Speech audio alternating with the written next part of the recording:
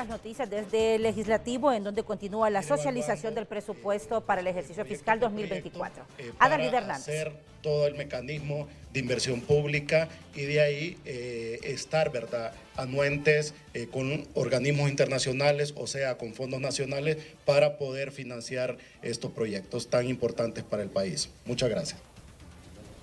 Bien, seguimos parte de esta conferencia de prensa de la Comisión de Presupuesto, quien se ha reunido con la Secretaría de Infraestructura y Transporte. Escuchamos a don Hugo Maldonado. Ah. Eh, que es desmitificar algo que diferentes grupos de la sociedad han querido distorsionar con respecto a la ejecución presupuestaria del 2023. Casi se ha creado en el imaginario colectivo lo de la baja ejecución del presupuesto.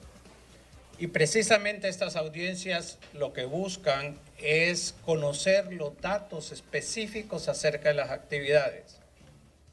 Y nada mejor que la Secretaría de Infraestructura y Transporte, la CIT, para mostrarnos a nosotros los niveles de ejecución presupuestaria en inversión pública. Y esa mañana hemos tenido la satisfacción de poder ver en las cifras presentadas para toda la sociedad hondureña a través de la transmisión de Canal 20, cómo los niveles de ejecución de la inversión son realmente muy, muy eh, aceptables.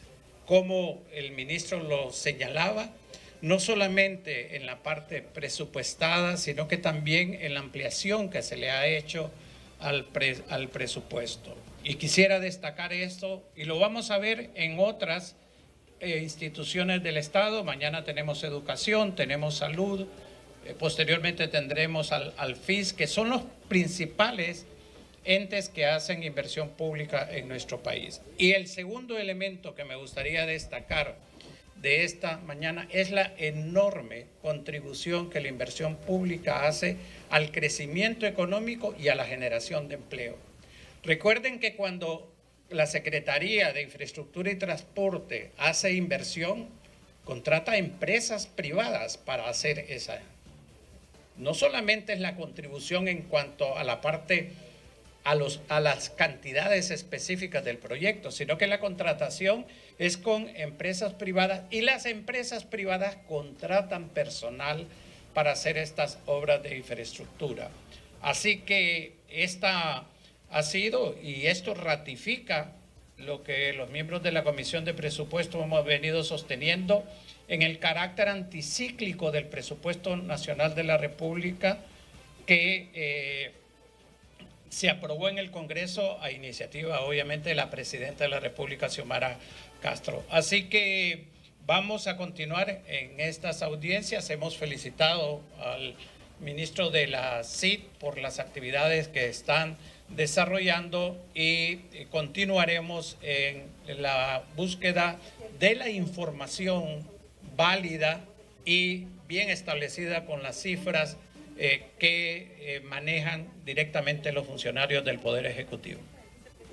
Doctor Hugo Noé Pino, ahora escuchamos declaraciones del secretario también del Congreso Nacional, del Congreso Nacional. Seguimos escuchando. Ministro, ministro, Ah, bueno, felicidades, muy buena ejecución. Se confirma que no es uno de los ministros de, redes sociales, como muchos que hay. Ah, el tema relacionado con los caminos productivos respecto a los que le resta por eh, ejecutar en el presupuesto. ¿Qué porcentaje les queda por, ejecutar en ese presupuesto para caminos productivos? Porque hay que darle respuesta también a gente del departamento de Valle y departamentos también como, bueno, Santa Rosa de Copán Cotepeque, ahí está la diputada Cuellar, que es testigo de que tienen, a veces tendrán que salir en lanchas o hasta en helicópteros de allá. Este, este es un proyecto, para empezar, eh, es el corazón, es el rostro humano de la Secretaría.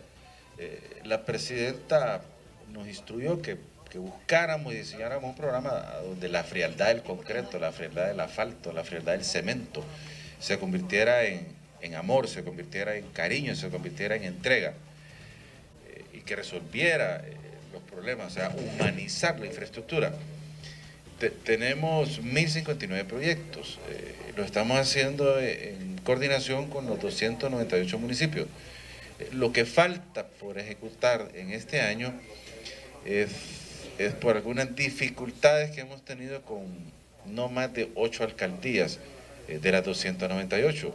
Eh, pero consideramos que todavía hay tiempo para que estos alcaldes rectifiquen, reaccionen y acaben de formular sus proyectos y que entren en el procedimiento, porque es injusto que por algún resentimiento político o por, por, sectarismo político sacrifiquen a las comunidades, eh, independientemente del color político que tengan las comunidades, pero eh, la inversión pública es sagrada, el dinero del pueblo es sagrado y, nadie se puede dar el, el, lujo en este momento de despreciar la inversión pública por la situación de cómo se encuentra el país y sobre todo su infraestructura.